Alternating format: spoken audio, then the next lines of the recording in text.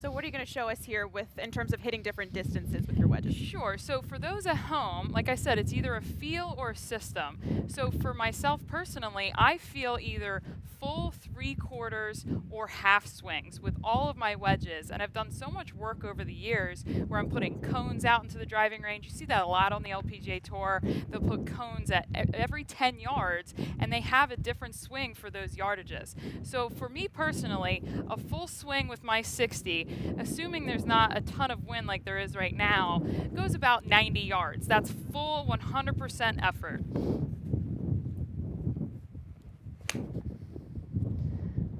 Okay, so say I now have 85 yards. I'm going to feel a three quarter backswing and a three quarter through swing, keeping up my tempo and acceleration. I think the kiss of death from those I see at home is they take a full backswing and they slow down on the downswing, but that's decelerating the club head and that's going to cause some chunks, thins, shots all over the map. So I'm going to feel three quarters, and some people also feel like a clock system. So think about an analog clock. You're swinging your left arm and your hands to 10 to 2. So there's 10 o'clock swinging to 2 o'clock.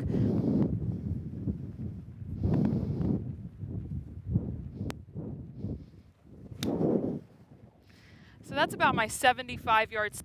Now a half swing, 9 to 3. Or for myself personally, I'm thinking left arm parallel to the ground and my hands. And again, parallel the, to the ground here as well.